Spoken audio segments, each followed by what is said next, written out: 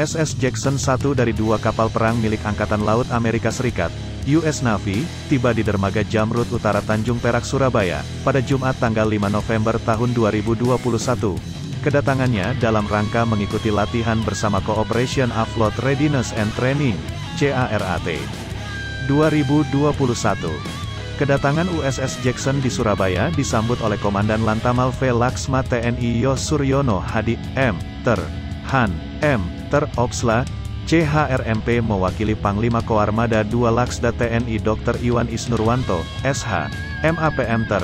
Han, sebagai penyelenggara latihan, ikut mendampingi yakni Wadan dan Asops Lantamal V, Kasatker di jajaran Lantamal V, serta Komandan Kri Sultan Hasanuddin 366 Letkol Laut, P. Boy Yopi Hamel selaku Wadan Satgas CARAT 2021. Sedangkan dari delegasi US Navy, hadir Atal USA Captain Stacy A.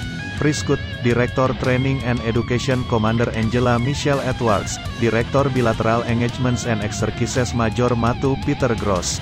Menurut jadwal, fase laut atau Sea Pace yang merupakan fase puncak dari Latma CARAT 2021 ini, dilaksanakan pada tanggal 8 hingga tanggal 10 November tahun 2021 dengan lokasi latihan di perairan Pantai Pasir Putih Situbondo.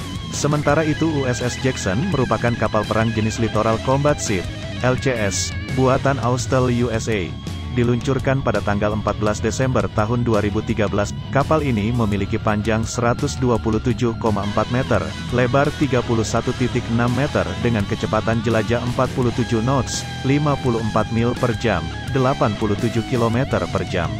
Kapal perang yang dikomandani oleh CDR Michael Root ini membawa pasukan sebanyak 104 personel, serta peralatan militer untuk mendukung pelaksanaan CARAT 2021.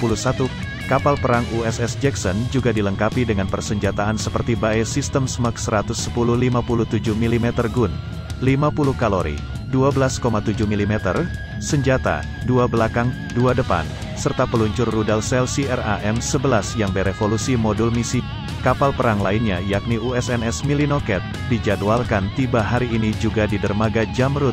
Keduanya sama-sama terlibat dalam manuver lapangan CARAT 2021. Pada bagian lain, Komandan Lantamal V dalam sambutannya mengungkapkan jika Latma CARAT 2021 merupakan wujud aktualisasi dari kerjasama internasional khususnya antara TNI AL dengan US Navy, yang selama ini selalu berlangsung dengan baik, saya ucapkan selamat datang dan berlatih dalam CARAT 2021.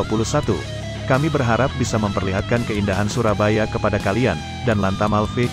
Hal tersebut diungkapkan karena seluruh awak USS Jackson tidak diizinkan untuk turun dari kapal apabila tidak ada sesuatu yang darurat terjadi. Ini adalah upaya menegakkan disiplin protokol kesehatan, guna mencegah penularan COVID-19.